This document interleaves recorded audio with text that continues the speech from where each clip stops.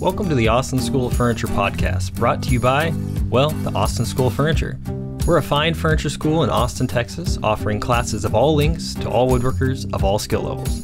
Join the ASF staff as we talk furniture making, how to grow as a craftsperson, and interview incoming instructors. Thanks for listening. Alrighty. Hello, and welcome to the Austin School of Furniture podcast. This is episode three. I'm Austin Waldo. This is Michelle Myers. Hello, hello. And today we are interviewing Andrew Hunter. Hello. So thank you to welcome to coming to the Austin School of Furniture. Welcome to the podcast. Welcome to everything. Thank you for having me. Yeah, yeah. Well, we, we have you here obviously at the Austin School of Furniture for a class. What are you teaching right now? Uh, well, last weekend we taught, or I taught a uh, Japanese hand plane class where each student got a brand new hand plane from Hida Tool, and uh, in two days we tuned it up and got it making shavings, um, which is a full two days. Um, it's not like a Western hand plane that comes ready out of the box. Um, it takes it takes some work, um, and that's what we did. Yeah. So is that just sharpening or what else is happening? No, it's uh, it's sort of the blacksmith gets it uh, eighty percent of the way. Um, I we flatten the back. That was sort of the first day. We learned how to tap out, which is a um, basically the first thing the students have to do is hit their brand new Japanese plane with a hammer. um, but that is the beauty of a Japanese or a laminated blade, really, um, is that you can use the soft steel um, to to shape uh, the the hard cutting steel. Um, you sort of optimize that as opposed to having to grind the back on a on a on a coarse stone to get it flat. You can do a lot of that flattening with a hammer, um, so that when you do flatten the back, it's a lot easier and there's much less material to uh, to remove. Can you say the uh, place that you bought it again? Uh, Hida tool. Okay. Yep. And they, do they sell them in kits? No, it, it's uh, you basically buy the width of the blade. Oh, I see. Uh, we were all using a 54 millimeter. Um, I actually have a I have a plane that I've, I've used to teach in other classes, and this one's actually from uh, Suzuki Tool. Uh, both those companies are in Berkeley, and those are really sort of the only uh, companies that are dealing in Japanese tools in the United States. So I I want to support those companies so that there are more Yeah, um, totally. um, companies dealing with Japanese tools. Um, and so I'll take the blade out. So one of the one of the unique things about the blade is a that it's a laminated construction, uh, uh, hard cutting steel laminated to a soft steel, um, but also the back of the blade is hollowed out um, because it is really hard steel. Um, it would be difficult to flatten that back, so it's hollowed out, um, and that's that's where we use the uradashi or the tapping out to sort of keep that shape uh, as as we use the blade as you sharpen the bevel, eventually you re- reach the hollow. The blade is not done. you know, um, you can tap out the blade to uh, bend the tip down so that when you sharpen again, uh, the cut goes right to the tip, uh, and in that way you sort of optimize that um, the shape, um, and it makes it for more efficient sharpening, uh, uh, better sharpening in general. Uh, so that was the first day, uh, and once that blade is shaped flat, um, we'll fit it into the body or the dai, and that's that's sort of a process of putting graphite on the back of the blade, uh, hammering it into the body, taking it back out, and seeing the high spots. Um, and again, that's the dai cutter did this in Japan, but they did 80% of the work, and we finish. And I that's see. that's sort of that's the general. Um, that's what's going on with these tools is they're we do the finish on them, um, and that that keeps the price down, and it allows me to tune it the way I want to, and most importantly, I feel build that relationship with the tool, which is uh, what I like about hand tools in, in general. Nice. Do you have any Japanese planes? I do not. I have no Japanese tools. Shameful, I know. But uh, I, you know, no, I just Do you have hand tools? That's I that's do, my- yeah. I Honestly, was just- yeah. uh, raised on Western tools, you know. How did you get started in, in Eastern tools? Um, I- did you just start from the beginning? I, I started with Western tools uh, and hand tools. I, I feel like my affinity is hand tools, and honestly, that's that's my bottom line. Is I want to promote more hand tools um, everywhere. Um, but I, about three years in, I, I found Toshio Odate's book. Um, Toshio Odate's book, um, and that just that's what got me going. Uh, and it it was as if it was in there already, and I discovered it because when I opened up the pages and saw the tools, I said, "Those are my tools." Yeah, yeah it's a great uh, and, book. And basically, I have since gone to all Japanese uh, tools for the most part. But but my bottom line is is really sharing with people hand tools. So in your own work, you are using Japanese tools exclusively. Yep, uh, I, I, have power tools which I use. um, honestly, as much as I can, I put a power tool to it, but I don't ask my power tools for the accuracy, um, right. and that's that's where the hand tools come in, uh, and especially hand planes. I don't. Um, that is my finish. I, I, generally don't use sandpaper, um, and the finished surface is off the hand plane. So, so you don't use sandpaper at all. For the most part, no. Okay. Um, wow. It's uh, it's all blades, and I, I I I love the blade. You know, that's that's yeah, that's that's where my love is. Um, and and I I have found Japanese culture to have a love of the blade, and that's that's where I feel like I've found my fit. Um, that's great. But for the most part, you know, I, I am.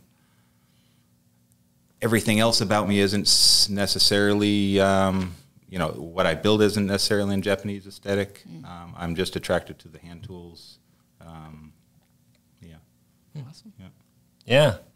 So you you did a, a weekend class, and right. now you're currently teaching a joinery class. Right. Mm-hmm. Uh, which, so I'm a furniture maker. Um, so for the most part, what I'm teaching in the joinery class is the overall essence of Japanese woodworking, the tools, how I use them, um, and we're doing that by creating some Japanese joinery, um, which mm-hmm. some of some they're super interesting, um, but not necessarily something I use in my furniture. Um, but we use it to learn um, Japanese methods of, uh, of, of work. So that was sort of the uh, you know we, we started we have I had three joints that, that we did over or we're in the process. Um, we're we're two joints in. I started uh, with a simple. um, um, uh, keyed uh, mortise and tenon. Uh, and today we've been working on a kanawa joint, a scarf joint, which is a little more complicated. And then we're going to finish on Friday with uh, the mystery joint, oh. which is a, a four way uh, dovetail. Uh, so there's on all four mm. sides of the joint, there's a dovetail. So logic would tell you that that joint cannot go together um, except for the secret. Which is there like a password? Is that is that what happens? it opens up. Um, I'm curious. Show us the secret. Would you like Would you like to know? Absolutely. Don't, as long as you don't tell anybody. Okay. Um, for those who can see, um, watching on YouTube, you'll see that it is the impossible joint. Uh, there's there's no sensible way for it to go together. And there's no glue lines either. No. Like I was looking for a glue line. No. Uh, so what it is is they go together at an angle. Um, that's the secret. So they're able to slide, and all the, oh, man, all the dovetails cool. are preserved on all four corners, um, and they slide together like so. Um, Is it fitted so cool. symmetrically? Like you could flip that thing around, or it only kind of goes together In one theory, way? Yes, um, it is. And and again, we use we're learning center line layout, which is uh, which is a unique um, way of laying things out that um, Japanese carpenters use where we, we create an XY axis, a theoretical XY axis that we measure from, as mm-hmm. opposed to measuring from the sides. Um, so, yes, in theory, because this was all laid out from the same center um, on each side, they could probably all go together. I have not tried. I was happy enough that I got um, it to go in one direction, okay. and I, yeah. I called it quits at that. Yeah. yeah. and the the center line technique, correct me if I'm wrong, is because it was developed around working on logs, yeah, cylinders. Exactly. Okay, yep. yeah, I was going to yep. ask, is this more for timber framing? Exactly. So, so most of these Japanese joints, um, these concepts are for timber framing, large mm-hmm. scale, um, which I have done in the past. Um, not Japanese timber framing, but Western. Um, but for the most part, as a furniture maker, I am not necessarily using these joints in my work. I'm fascinated by them, yeah. and, and I like the principles, uh, particularly using a centerline layout. Um, that idea of creating your own XY axis allows you to to leave the square and straight um, realm, which which I feel like we're um, tend to be stuck in when we use edge. We tend to um, use squares off of an edge. Um, with a log, there is no square edge to use a square off of, so we we create a um, lines um, in XY axis um, just in snapped lines, and we always put our square and, and we use a flat carpenter square without an edge. Um, so we use that to do the layout, and that means we can do it in a log. We can do it in a 20 foot timber that isn't square. Um, that's where it really makes the most sense. But uh, to be honest, as a furniture maker working on a smaller scale, I tend to make all my materials square and straight and measure off sides. Um, Yeah. I just like knowing Right, right, right. that I that I could bring incorporate a uh, a stick, you know, and, Yeah. and find a way to do intricate joinery with something that uh, wasn't square and straight. So Very cool. yeah.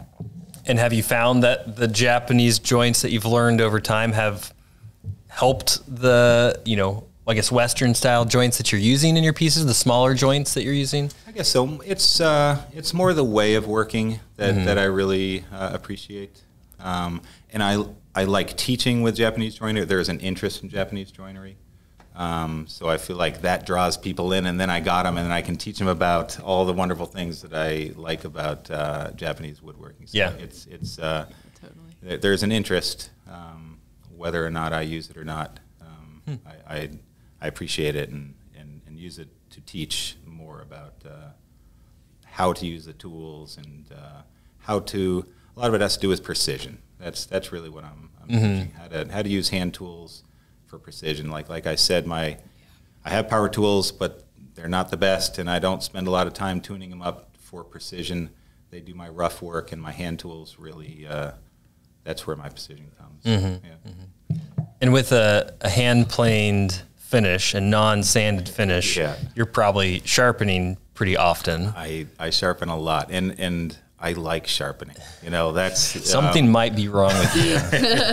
that's that is truly the mentality that I'm trying to share with people. That uh, um, sharpening is fun. It's not a chore, it, and it really uh, it not only does it get you sharper, it grounds you. Um, it's sort of it's an opportunity to step away from a project and see it uh, as a whole.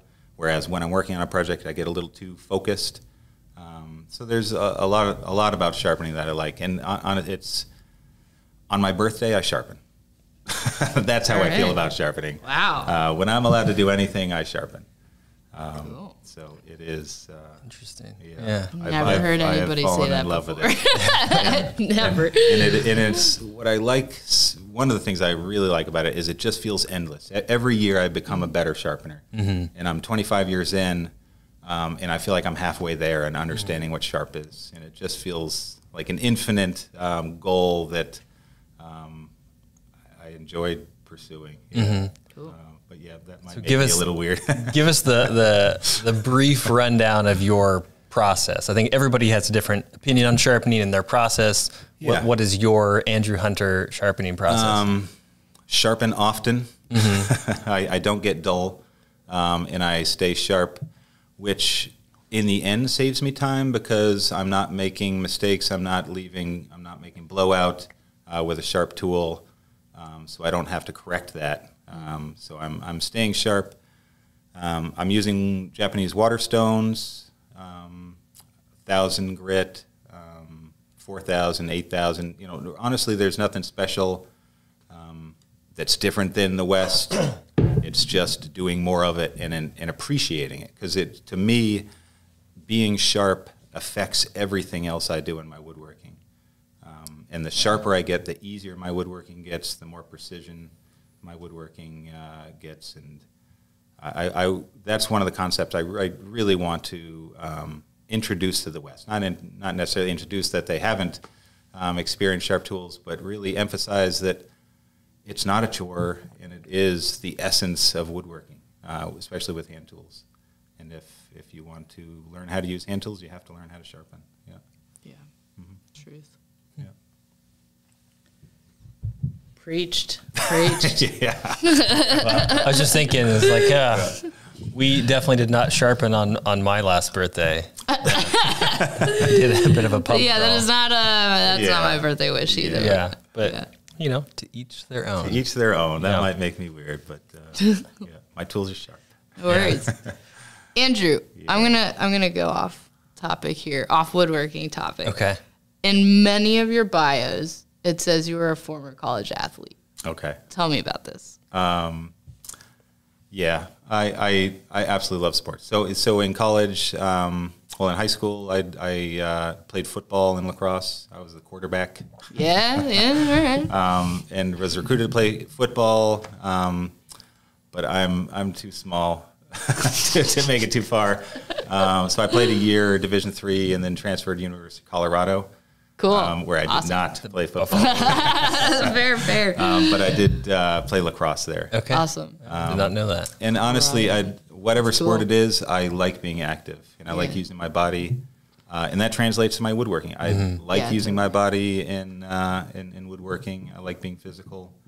Um, so nowadays, I do it. You know, it it just it's how I relax. You know that and sharpening. There you go. Cool. Yeah, we've been thinking about offering, you know, like some yoga related to woodworking, Yep. getting like a CrossFit program going where people help me I'm unload down. the lumber truck and just, Yeah, you know, you picking go. boards up, you know, paid membership, that sort of thing. So we'll, like we'll it. see. We'll see. 2023 is going to be a big year. Uh, yeah, it's gonna be great. It's gonna that's gonna go really well. Uh, yeah. yeah, I've been known to play a little bit of beach volleyball in my day. Yeah, yeah. So Definitely. it's it's uh, I don't know. It's being active. I mean, not only makes you healthy, and uh, but it it gets all that energy out when you're in the shop, you know, Yeah. and all that tension of not going over the line. Um, you know, you spike one volleyball, and all that all that that day is gone. gone. yeah. yeah. Nice. So so I, I I I will always like sports. I think. Yeah. Nice. Yeah. if you could be a woodworking tool, what would you be?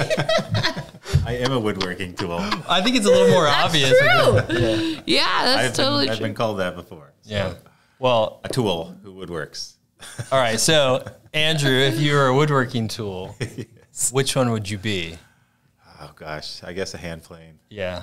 And I think it's a little bit obvious. it would it would probably be a Japanese hand. It's much better. that one right It there. might be or- that one. much better. Much better Are than those Matt your Kinney's tools answer. too? Yeah, Your tools yep. too. yeah. So I I, I I have tools I travel with, and I have tools that stay at home.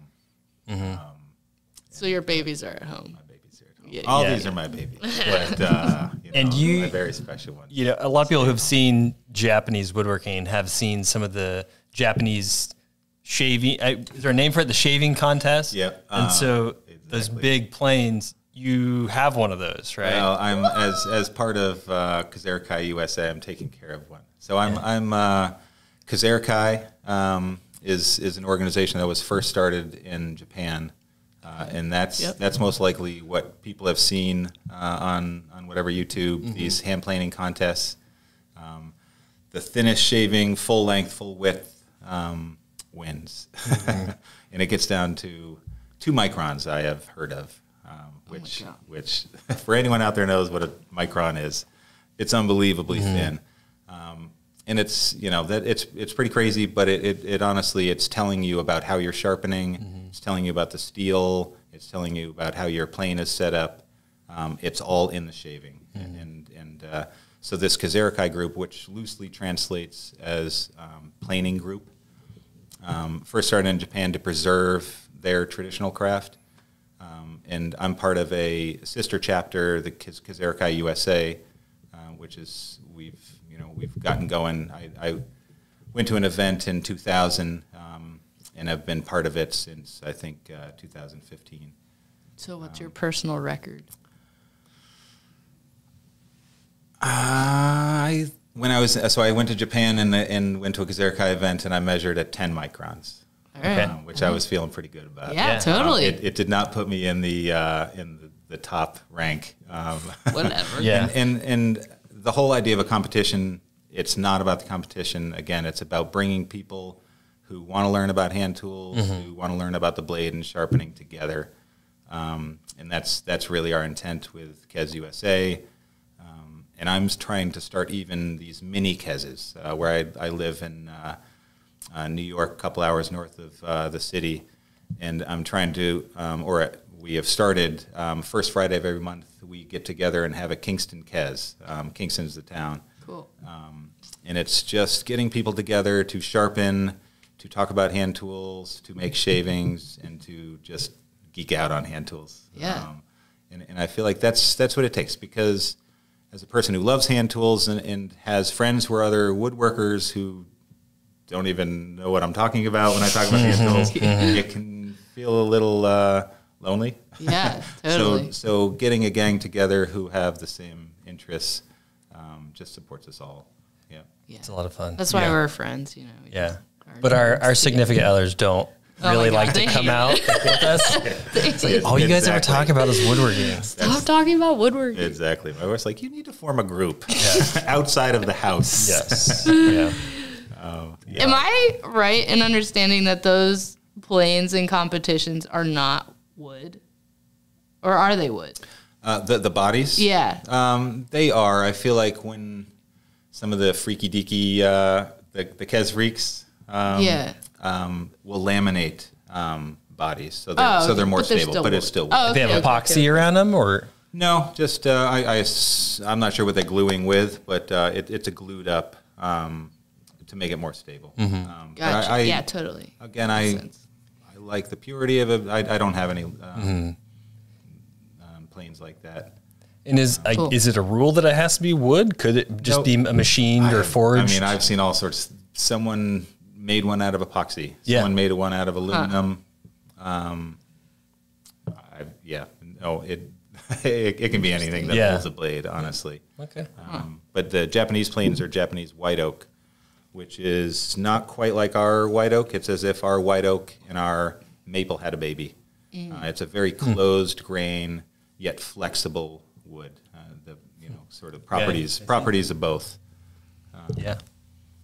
So do you have to get that from those two vendors that you talked about in um, No, Berkeley? I, I encourage all of my students to buy from um, um, Hida and Suzuki, um, but absolutely not. It's it's more me trying to promote um, companies in the United States selling Japanese tools, so there are more companies uh, Mm-hmm. Yeah. in, in, in the United States selling Japanese well, tools. uh, well, I was just curious. Do you know of any lumber yards that sell Japanese oak? I don't, um, but you can order blocks from both those companies. Okay, cool. Um, and rumor has it, uh, I have not made a, a, a block out of it, but Osage Orange um, Mm. is, is one of our top contenders.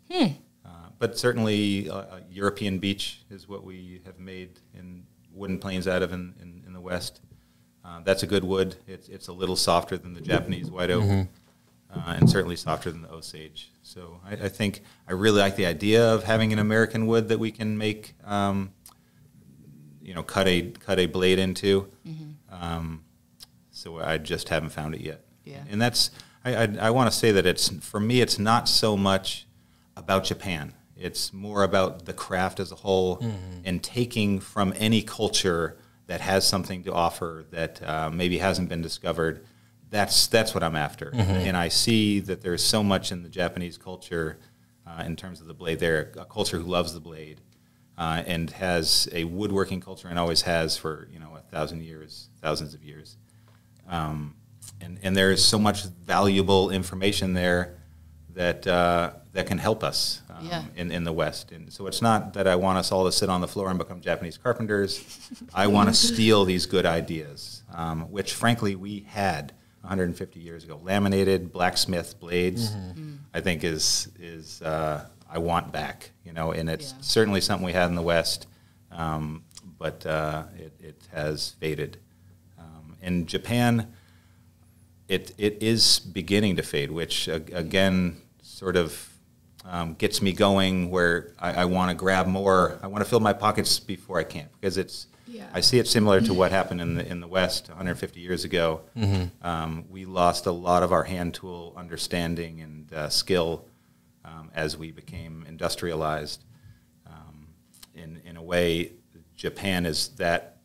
It's like going back into time um, uh, going to Japan now.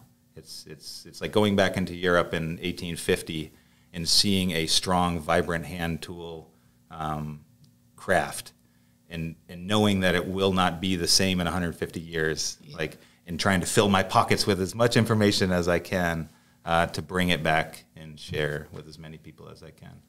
Yeah, so we can maintain because I, I it's again my bottom line is hand tools and having that relationship with a blade uh, in the wood. Um, you know, if if I'm using a blade wrong or I'm you know I, I really need to pay attention to everything. There, it's not uh, if if I do it wrong, the wood will tell me. Yeah. As opposed to a helical planer, um, it, it's not listening as, as well. It just does a good job. Um, so the helical planer has all the fun and not me. Um, I, I want to steal woodworking back from my machines because I love woodworking. Um, I, I want to have that relationship with the wood. Very Yeah. cool. Yeah. Awesome. Cool. Thank you. So it, if you want to get started in Japanese woodworking, do you start with the chisels? Do you start with the saws? Do you start with the hand planes? Somebody wants to get into it. They like what, what they're hearing.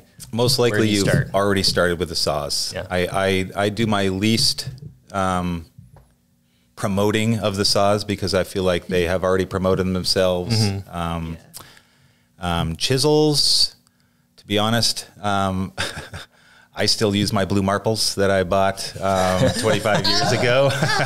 don't tell any of my Japanese carpenter friends. Um, I, that's my way. I don't uh, replace a tool unless it's broken. Yeah. My Marples, first of all, have "Made in England" written on them. It's like the they're, they're old enough. Yeah. Um, and and uh, yes, I will. You know, I would like to have more Japanese chisels, but uh, um, so to get started, it's really um, for for me. It was Toshio Odate's book. You know, it was reading his his story, seeing the seeing the tools, um, hearing about his apprenticeship. Um, that's what that's got me going, and that inspired me enough to go to a Kezurou-Kai USA event. Um, and that's that's when my you know at this event they had Japanese carpenters come in, uh, and when I say Japanese carpenters, some of the best. Um, they had a blacksmith there. Um, this was in 2001 when I went to the first one. Uh, this blacksmith has come back in the in, in the past. Uh, he just won the Living National Treasure uh, a few years ago. So I'm some of the best are coming to America yeah. to help um, to help share, and and it and it just goes to show that I, I feel like the West has the ability to um, support uh, Japan's craft, which, which is changing. It, it is um, young kids in Japan, um, uh, you know, uh, compared to 100 years ago, are not uh, opting to Sure. Yeah. to Yeah. Um, work in a dark, dingy uh, blacksmith shop um, their whole lives. Yeah, They're, yeah. They're moving into the city and getting a job, and Yeah. Yeah. um, which I which I get, but it but it means things will be lost. Um, and Japan knows that, and, and they are really supporting uh, Kezurou-Kai USA and people in the West to help support um, educating other Yeah. people about it. Yeah. Are there any Kez USA events coming up anytime soon? Um, yes, we actually just uh, put on the calendar. Mostly, just check out the website. It's uh, um, kezuroukai.us. Um, Kazer, yeah, kezuroukai.us. And uh, but we just had an event in California that I was at. Uh, that was a one day. The pandemic shut us down for a year. Um, so we will be back with a full two day event uh, next year. I think it's next August. Cool. Um, but again, check out the website. And, And you'll also be at our event, Yes. the Texas Woodworking Yes, Festival, absolutely. which is great. So hopefully everybody will come to that and see you. I'll, I'll be there um, representing Kezurou-Kai USA. I'll have my Kezurou-Kai coat on, um, my happy coat. Um, and uh, yeah, I'm really looking forward to that. Uh, Again, as much as I can get in front of people and share my passion for it, because I, I truly have a passion for Japanese hand tools and hand tools, uh, that the more I can get in front of people and share that passion, I feel like uh, the more people like me who was had no idea what Japanese woodworking was until I opened a book and it changed my life. You know, so I, I know there's more people like that, like me out there, and I just want to find them. Yeah, totally. Yeah. That's great. Can I ask one more question? You can ask as many questions you want. Uh, what project are you most proud of so far in your career? Good question. Jeez. Um, my kids. Good, uh, good answer. That that would probably be my answer on the fly. Correct too. answer. Yeah, yeah, yeah. and then my to, get, to get more specific. to get more my woodworking project. yeah, Uh, that was what my intent. But hey, My favorite. it has to be one of my first ones. Um, and, Yeah. and, I, and I even look back at some of my first projects, and I'm surprised that I was able to do that. I, I have a credenza that I made where I, I I'm surprised I was able to sharpen my blade well enough. Yeah. Again, hand plane finish, no sanding. Um, this was when I was just learning, um, but I feel like I had that. I had the spirit then. You know, I, I didn't know what I was doing. I was just um, doing it without thinking. you didn't know what you didn't know. Yeah, I didn't know what I didn't know.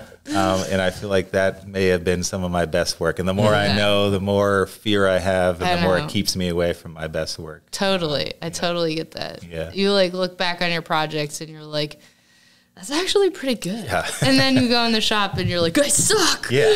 So and that, yeah, that keeps you from doing Ups your best downs, work. yeah. totally, Yeah. totally. Uh, so I'm Glad guess- you're proud of your first work. I, I thing it's been You don't feel no feel that way? firewood. my, my first good Long piece, maybe gone. I should say. Okay, yeah. I, I, uh, I'm sure I built some things that, yeah, Yeah, I'm still not there yet. Yeah, that were We'll see. practiced. So where is that credenza now? It is in my uh, um, bedroom. Cool. And I wake That's up every morning good place to uh, and feel feel good about it. Great. Yeah. Do you have a lot of your own furniture in your house? Unfortunately, yes. Interesting. yeah. The the cobbler's shoes have was it? well, cob- it's mo- yeah, it's mostly it's uh, show pieces. Yeah. like I will Yeah. build uh, pieces on spec. Um, that credenza was a spec piece. Um, Mm-hmm. And honestly, people come to the show and be like, "That is the credenza I want. Mm-hmm. Please make it for me." And I'm like, "It's right here. You could buy it."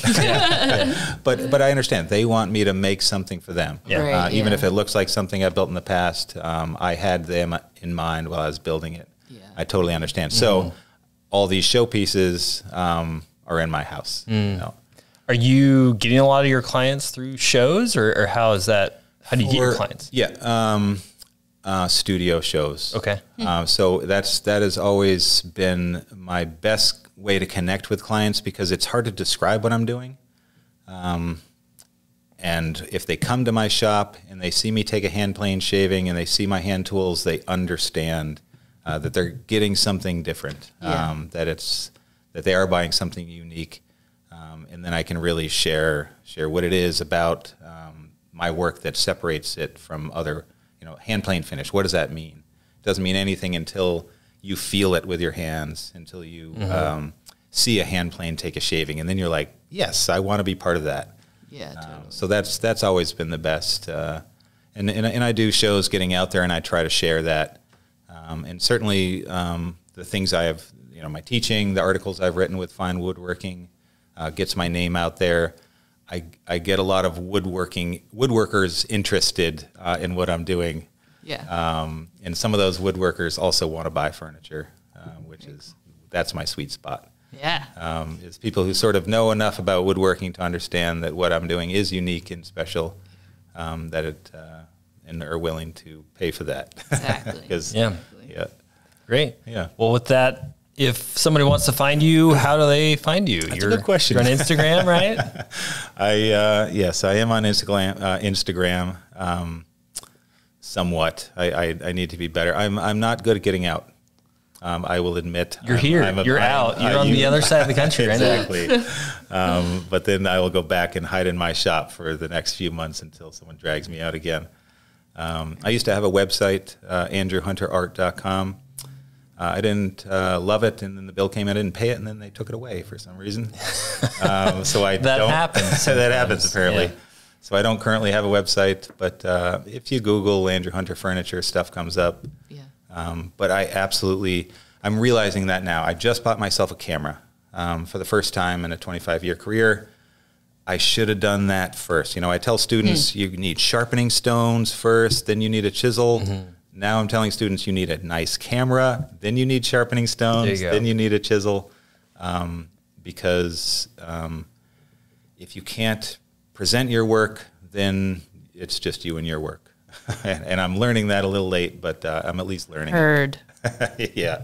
So, I needed to hear that. Thank you. yeah. So, uh, so um, yeah. take nice photos, or at least have a friend that you can trade a piece of furniture with, which Yeah. is where I got um, any of the nice photos that you've seen uh, are from a trade with a friend. Yeah. Cool. Um, but that that only takes care of about 10 years of that 25 years. The other 15, um, it's gone. And it's so sad.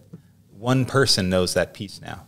yeah. Um, and it's, it's, it's not doing work for me anymore. All, all that effort um, is wonderful for that one person. But uh, if I'd taken a photo, then I could have shared it with other people who could have, you know, gleaned something from it. Uh, so. Good Camera. photographs make good websites for sure. Yes. Yeah. Um, and it's the photograph, in a sense, is more important than the piece. It's Yeah. because that's what people see. Uh, it, that's unfortunate truth, but uh, that's a truth I'm learning a little too late. Yeah. Yeah. but uh, I'm learning. All right. So if you want to get a hold of Andrew Hunter, come to the Austin School of Furniture, take a class. Exactly. Then I'll give you his email. Yes, I, I, I Bring do, your card with your camera. yeah, I, I do share uh, my email with, with students, so that's. Uh, But you're on Instagram, Andrew Hunter Furniture. Yeah. Uh, so yep. Andrew can- Hunter with a lowercase, whatever slash or something, and and uh, Un- underscore. underscore There you go. uh, furniture. Thank you. Um, but again, you, you, people will find me if they want to. Yeah. And uh, that's I I, yeah, I I, googled you. I tend to like to hide, um, and and that's kind of uh, I'm coming out of a hiding um, phase of my life, and I, I want to uh, want to get out there more. All right. And share. So, um, and I, I I just want to say thank you, Austin, for pulling me out. Um, and, and there's there's other people who, who are just like you who uh, who are doing just that. They, that see I have something to share, uh, and are taking a chance. You know, it's like uh, you've never had Japanese woodworking class in Mm-hmm. your school, and uh, you took a chance on me, and I absolutely apprite uh, And that. the class is not over yet. We haven't. That's true. Yeah, I mean, you're, you're getting a little ahead You're of the curve done. there. Yeah. All right. it's so far so good though. So far, Yeah. everything's been going great. So Yeah. love it. Class has been great. Thank Yeah. you so much for coming to the school. Thank you for being on the podcast. yes. Of course. Um, yeah. Yeah, it's Great been talking great. with you. Thank you. Um, cool. Thank you. All right. Well, hopefully you'll keep watching the rest of our videos and the rest of our podcast. And of course, if you're interested in classes, check out austinschooloffurniture.com. Definitely check out Andrew if you can find him. if you can find me. Thanks so much, everybody. Right. Bye bye.